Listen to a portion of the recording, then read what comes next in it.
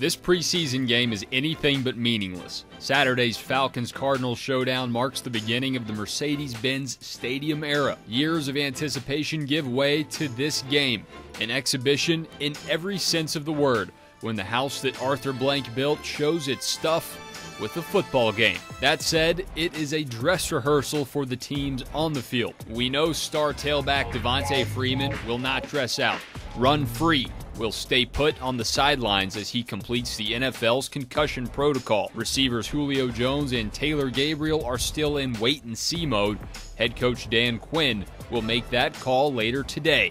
Of course, some fans may not notice who plays and who sits.